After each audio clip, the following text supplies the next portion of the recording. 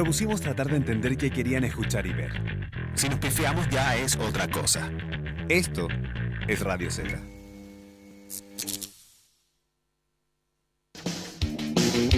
Somos solo ruido.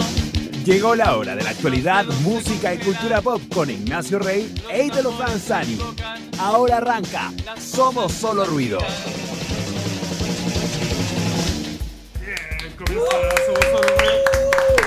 Contentos, con ánimo, energía. ¿Cómo estáis, compañero? Contento, señor, contento. Que vengo esta Contento que, semana. que resucitó. Va, el señor que resucitó recién. ¿El Max? domingo recién? Ah, ¿ese, ese señor? No, de Jesús. El, el Jesús de South Park, acuérdate. ese Ah, es el que queremos todos nosotros. Sí, pongámonos serio. Estamos a martes y tenemos a Rama. ¡A Rama! bravo, Sal- ¿Cómo están, cabros? por la invitación, muy bien. Felices, gracias por invitarnos. Sebastián Cáceres en la voz Así es. y Daniel Campos en la, en la guitarra.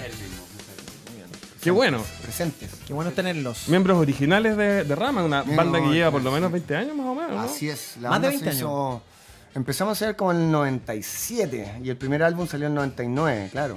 20 años de 20 disco y ustedes compañeros de colegio. Sí, pues Así que usted- más. El primer disco cumple Claro. este año 20 años. Ay, la relación viene del colegio. Sí, El colegio, compañeros de colegio, chicos. juntos. ¿Pero relación musical o de amigos solamente? Éramos amigos, pero Daniel siempre tocaba la guitarra Ya. en el colegio. era bueno para la música, tenía Ajá, hartos claro. discos, le encantaba. Y yo, y yo también me interesé por la guitarra y nos hicimos amigos al tiro y hagamos una banda.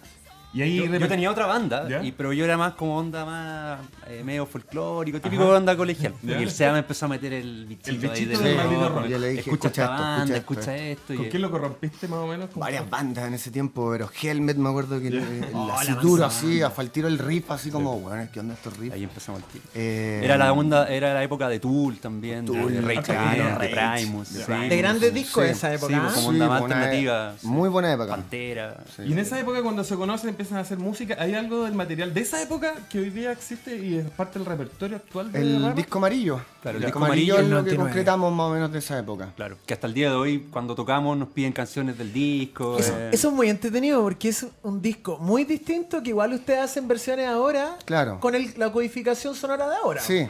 Es un disco que fue grabado así por nosotros, bueno, un fin de semana. Súper independiente, ¿no? Súper independiente. De hecho, el sonido es bastante precario. La autogestión. La autogestión, pero total. Teníamos 19 años, 18 años. Era, era puro ímpetu juvenil de, bueno, hagamos un- este disco. Y claro, tiene todos esos problemas de audio, de, Sí. de inexperiencia. Pero la gente le gustó pero claro, mucho, el disco es- Sí. es tan como Pero al real final- al en final su puede ser esencia. como recursos estéticos después con el tiempo, como, ¿no? claro, Ah, cuando el error es virtud. Claro. ¿Te has fijado claro. eso- eso- esas bandas que de repente dicen, ya se cumplió 20 años este disco y lo vuelven a grabar Sí. y la puro cagan? Mm, no, sí. ¿Para qué? No, De aparte hecho, que la sí. grabación de un disco siempre capta la esencia del momento. Del momento, sí. Bueno, nosotros igual ahora que el, que el disco amarillo va a cumplir, cumple, digamos, 20 años, eh, tenemos preparado, ay, esto es un adelanto para todos nuestros seguidores, Bien. vamos a hacer un show de, de- de cumpleaños, digamos, de aniversario. Y vamos a reeditar también el disco amarillo, que igual está ahora en todas las, plataformas, pero lo vamos a volver a editar físico para los amantes ahí, los ¿Y coleccionistas. va a ser igual o tiene alguna novedad? ahí? Va a tener Va a un, tener un arte. está- no, de sonido creo que tiene un poquito más. El sonido va a mejorar un remasterización, poco, pero. masterizarlo a, a los tiempos de ahora, que han pasado no, no 20 lo vuelven años. a grabar. No, No, no, no, no, no, no, no, es que no. justamente lo que te decía. Ese disco ya captó esa esencia de esa época, lo que teníamos que decir en ese, en ese momento, digamos, entonces ya está bien. Lo que hay que hacer ahora es una pinceladita para Esto que... de amarillo iba dedicado Es que- a alguien en es que especial. Es que es un disco homónimo. No, es que un realidad. disco rama a rama Se que la portada amarilla. ¿no? Amarillo. Claro, y se fue quedando como disco amarillo. Es, co- es como el rojo de Lucibel, que no se llama rojo. Sí. Es un Es como rojo, el ¿no? indio de los jaivas, que tampoco se llama no indio. llama Sale un indio en la carátula. Sí, no o el negro de Metallica, tampoco el negro. O el, ah, ya, vamos a decir. O el 4 de Led Zeppelin, que no es el 4. Tenemos programa, Sí. Discos sin nombre. Pues ya Sin nombre. Sí, bueno. La gente al final le, le pone su nombre. claro. Sí, po. O el anaranjado de Parkinson, que aquí estuvo el También, Miguel Iso. también, también. O el, ah, ya, O el blanco de los Beatles. También. ¿ves? Hemos dicho casi todos los colores. O sea, Rama tiene su álbum ¿Ve? de color. ¿Ves? digamos. Sí, po. Ah, Lo logró. Sí, y po, después, en, en fugitivos, ¿qué, ¿cuál es el cambio, el peldaño que ustedes pueden señalar? Pasaron Porque años. Estamos Sí, hablando fuera, fuera de sí. micrófonos que usted es una banda que evoluciona. Cada disco, eh, detrás de cada disco hay una propuesta diferente, un sonido, Sí. eh, líricas también, ¿no es Sí. cierto? Entonces, uno, uno como personas que le, le gusta la música agradece eso de las bandas que nos estén promoviendo cosas nuevas en cada publicación, Sí, ¿no es sí. cierto? Hay bandas que no, que repiten el. Claro. También hablábamos de eso, que repiten el código. ¿no? Así como Como, el- los, como los grandes Ramones y. Claro, y los Ramones, por ejemplo. ¿no? Claro, Iron Maiden también. Sí, Iron Maiden, pero igual la historia de Iron Maiden es larga también. Pasaron También es larga, sí. Pues si no le sacamos los cantantes, habría sido la misma tontera. El, 2000, el 2006 es.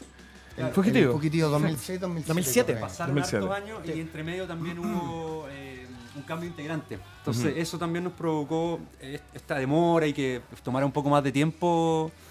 Porque el disco después lo grabamos y quedó como guardado, entre comillas, mientras estábamos con el cambio de, de- de- de bajista, que fue cuando se fue Marcelo y entró Cano.